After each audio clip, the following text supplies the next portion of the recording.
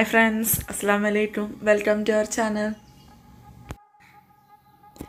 അപ്പോൾ ഇന്നത്തെ നമ്മളുടെ ഡിഷ് എന്ന് പറയുന്നത് ചിക്കൻ ബർഗറാണ് ചിക്കൻ ബർഗർ നമുക്ക് വീട്ടിൽ എങ്ങനെ ഉണ്ടാക്കണമെന്ന് നോക്കാം. അതിന് വേണ്ടിയിട്ട് നമുക്ക് ബോൺലെസ് ചിക്കനാണ് ഇവിടെ എടുത്തേക്കണത്. അര കിലോ ചിക്കൻ കാ ടീസ്പൂൺ കുരുമുളക് പൊടി നാല് table spoon cornflour garlic paste രണ്ട് ടേബിൾ സ്പൂൺ സോയാ സോസ് മൂന്ന് ടേബിൾ സ്പൂൺ. ഉപ്പ് ആവശ്യത്തിന്. Bread crumbs. അപ്പോൾ നമുക്ക് ആദ്യം ബർഗർ പട്ടീസാണ് ഉണ്ടാക്കേണ്ടത്. അപ്പോൾ അതെങ്ങനെ ഉണ്ടാക്കണേ നോക്കാം. എന്നിട്ട് ഉണ്ടാക്കാൻ തുടങ്ങാം. ആദ്യം നമ്മൾ ചിക്കൻ നല്ലോണം കഴുകി നല്ലോണം വറ്റാൻ വേണ്ടി വെച്ചിട്ടാണ് ചിക്കനിൽ ഒരു വെള്ളം പോലും പാടില്ല. എന്നിട്ട് നമ്മൾ അത് മിക്സിയിലിട്ടൊന്ന് അടിച്ചെടുക്കാൻ പോവാണ്. നല്ല പേസ്റ്റ് രൂപത്തിലാണ് വരെ നമുക്കൊന്ന് അടിച്ചെടുക്കാം. അപ്പോൾ നമ്മളുടെ ഇത് അടിച്ചെടുത്ത് വന്നിട്ടുണ്ട്. ഇത് ഇതുപോലെ രൂപത്തിലാവും. വെള്ളമില്ലാത്തതുകൊണ്ടാണ് ഇങ്ങനെ നിൽക്കണത് നമ്മൾ വെള്ളം പാടില്ല. നല്ലോണം ഒന്ന് എടുത്തു. ഇനി നമ്മളിതിലേക്ക് ഗാർലിക് പേസ്റ്റ് ഇട്ടു. കുരുമുളക് പൊടി ഇട്ടു.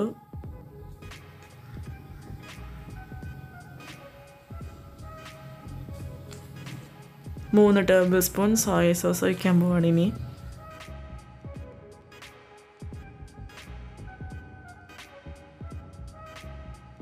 എന്നിട്ട് നല്ലോണം ഒന്ന് ഇളക്കിയെടുക്കാം ഇതൊന്ന് മിക്സ് ആക്കണ വരെ നല്ലപോലെ ഒന്ന് ഇളക്കിയെടുക്കാം നമുക്ക്.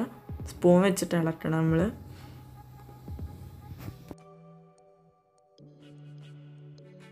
അപ്പോൾ ഇത് നല്ലോണം ഒന്ന് മിക്സായി വന്നിട്ടുണ്ട്. എന്നിട്ട് നമ്മൾ ഇതിലേക്ക് കുറച്ച് ഉപ്പിടാണ്. സോയ സോസിൽ കുറച്ച് ഉപ്പുള്ളതുകൊണ്ട് നമ്മളിതിലേക്ക് ഒരു പിഞ്ച് ഉപ്പേ ഇടണുള്ളൂ.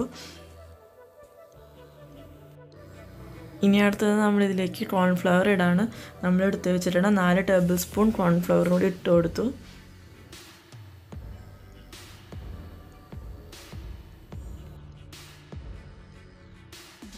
ഇനി നമുക്ക് കൈ വെച്ചിട്ട് നമ്മൾ കുഴച്ചെടുക്കുകയാണ് കോൺഫ്ലവർ ഇട്ട് നല്ല മിക്സ് ആവണ വരെ നമ്മളൊന്ന് കുഴച്ചെടുക്കാം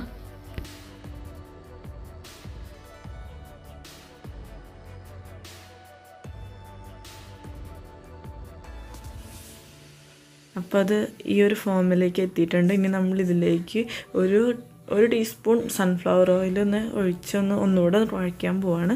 അപ്പോഴാണ് നമ്മളുടെ ശരിക്കും ബർഗർ പട്ടീസിന്റെ ഒരു ഒരു സ്ട്രക്ചറിലേക്ക് ഇത് വരുന്നത്.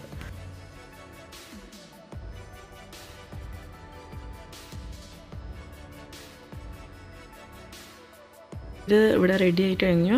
ഇനി നമ്മൾക്ക് ഇതിനൊരു ഷേപ്പ് വരുത്തണം. അപ്പോൾ നമ്മുടെ ബർഗർ റൗണ്ട് ഷേപ്പ് ആയതുകൊണ്ട് നമ്മൾ റൗണ്ട് ഷേപ്പ് കിട്ടാൻ വേണ്ടി ഒരു മൂടിയാണ് എടുത്തിട്ടുള്ളത്. എന്നിട്ട് അതിൽ വെച്ച് നമ്മൾ ഇതൊന്ന് ഫില്ല് ചെയ്ത് റൗണ്ട് പോലെ ആക്കുകയാണ് എന്നിട്ട് നമ്മൾ അത് ബ്രെഡ് ക്രംസിൽ എടുത്ത് ഇട്ട് ഒന്ന് റോൾ ചെയ്തെടുക്കണം. ബ്രെഡ് ക്രംസിലിട്ടൊന്ന് റോൾ ചെയ്യാണ് നമ്മൾ. എന്നിട്ട് ബട്ടർ പേപ്പറിലിട്ട് ബട്ടർ പേപ്പറിൽ വെച്ച് നമ്മളൊന്ന് പ്രസ് ചെയ്ത് കൊടുത്തു. Round shape correct round shape നാട്ടാണ് ആക്കിയിട്ട് നമ്മൾ ഇത് ബട്ടർ പേപ്പറിലൊന്ന് പൊതിഞ്ഞ് പത്ത് പതിനഞ്ച് മിനിറ്റ് നമുക്കിതൊന്ന് ഫ്രീസ് ചെയ്യാൻ പറ്റണം.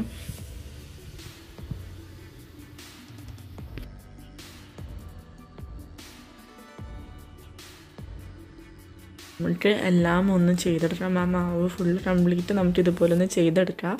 ഇതുപോലെ നമുക്ക് കുറേ കിട്ടിയിട്ടുണ്ട്. ഇനി നമ്മളിതൊന്ന് ഫ്രീസ് ചെയ്യാൻ പറ്റുകയാണ്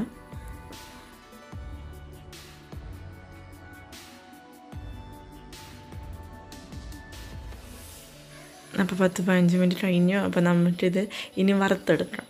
അപ്പോൾ നമ്മൾ എണ്ണ വെച്ച് അത് ചൂടായി നമ്മളിതിലേക്ക് ഇട്ട് കൊടുത്തു. നമ്മൾ ചെറിയ തേയിലാണ് ഇടുന്നത്. ഹൈ ഫ്ലെയിമായ അതിന്റെ പുറം ഒന്ന് കരിയും. അപ്പോൾ ഉള്ളു വേവില്ല. അപ്പോൾ നമുക്ക് ഒരു ലോ ഫ്ലെയിമിൽ ഇട്ട് കൊടുത്താൽ നമുക്ക് എല്ലാം ഒരേ വേവിൽ നമുക്ക് ഉണ്ടാക്കാൻ പറ്റും. നമ്മൾ ഒരു സൈഡ് ഗോൾഡൻ കളറായപ്പോൾ നമ്മൾ മറ്റേ സൈഡ് ഒന്ന് മറിച്ചിട്ട് കൊടുത്താണ്.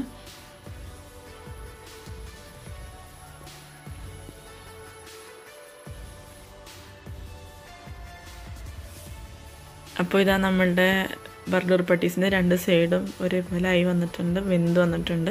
അപ്പോൾ നമ്മളിത് ഒന്നും പേപ്പർ ഓയിലിൽ നിന്ന് മാറ്റിയെടുത്താണ് വേറെ പ്ലേറ്റിലേക്ക് വിട്ടാണ്.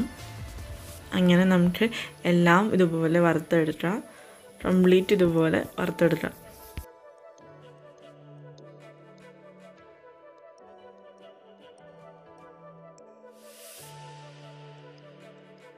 ഇനി അടുത്തത് നമ്മൾ നെക്സ്റ്റ് ഫില്ല് ചെയ്യണത് മുട്ട വെച്ചിട്ടാണ്. അപ്പോൾ മുട്ടയിൽ നമ്മൾ രണ്ട് മുട്ടയാണ് ഇവിടെ എടുത്തേക്കുന്നത് രണ്ട് മുട്ടയ്ക്ക് കുറച്ച് കുരുമുളക് പൊടി കുറച്ച് ഉപ്പുപൊടി ഇട്ട് കൊടുത്തിട്ട് നമ്മൾ നല്ലോണം ഒന്ന് ഇളക്കി എടുക്കുക എന്നിട്ട് നമ്മൾ ഇതൊന്ന് വറുത്തെടുക്കുകയാണ്.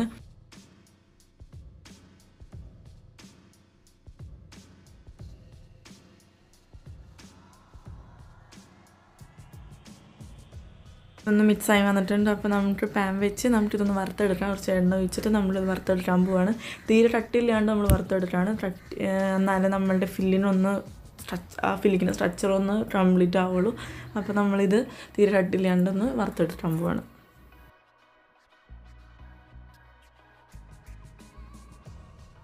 മുട്ടന്റെ രണ്ട് സൈഡും വെന്ത് വന്നിട്ടുണ്ട്. അപ്പോൾ നമ്മളിതൊന്ന് വേറെ പാത്രത്തേക്ക് മാറ്റി.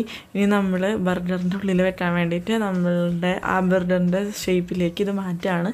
അപ്പോൾ നമ്മൾ നേരത്തെ ബർഗർ പട്ടീസ് ഉണ്ടാക്കാൻ വേണ്ടി അളവെടുത്ത ആ പാത്രത്തിൽ തന്നെയാണ് നമ്മളിത് അളവെടുക്കണത്. എന്നിട്ട് റൗണ്ട് ഷേപ്പ് ആക്കിയിട്ട് കട്ട് ചെയ്യാണ്. ഇതുപോലെ നല്ല നൈസായിട്ട് വരണം. ഇത് പിന്നെ നമുക്ക് അടുത്ത ഫില്ലിനെന്ന് പറയുന്നത് അമുൽ ചീസാണ് നെക്സ്റ്റ് ഫിൽ എന്ന് പറയുന്നത് ടൊമാറ്റോ റൗണ്ടിൽ അരിഞ്ഞു വെച്ചിട്ടുണ്ട്. ഇത് ചൈനീസ് ക്യാബേജാണ് ഇത് ക്യാപ്സിക്കം അപ്പോൾ ഇത് മൂന്നും കൂടിയാണ്. ഇനി പിന്നെ നമ്മൾ വേണ്ടത് മയണൈസ് മയണൈസിൽ ടൊമാറ്റോ സോസും കൂടി ഒഴിച്ച് രണ്ടും കൂടി മിക്സ് ആക്കിയതാണ്. നമ്മളുടെ ബർഗർ പട്ടീസിന്റെ മുകളിലേക്ക് ചീസ് ഇട്ടാണ്. അപ്പോൾ ചീസ് ഒന്ന് ഉരുകാൻ വേണ്ടിയിട്ട് ബർഗർ പട്ടീസ് നല്ല ചൂടാണല്ലോ. അപ്പോൾ ഉരുകാൻ വേണ്ടിയിട്ട് നമ്മൾ ചീസ് ബർഗർ പട്ടീസിന്റെ മുകളിൽ വെച്ചു.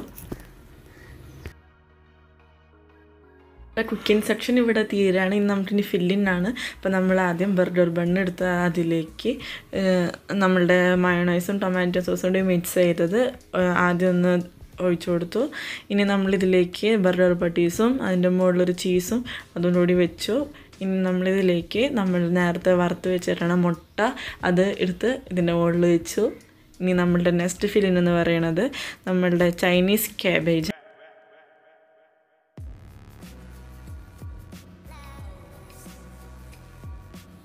ഇനി അടുത്തത് നമ്മൾ ഇതിലേക്ക് ക്യാപ്സിനും വെച്ചു. ക്യാപ്സിക്കത്തിന്റെ മുകളിൽ രണ്ട് ടൊമാറ്റോസ് റൗണ്ടായി അരിഞ്ഞതുകൂടി വെച്ചു.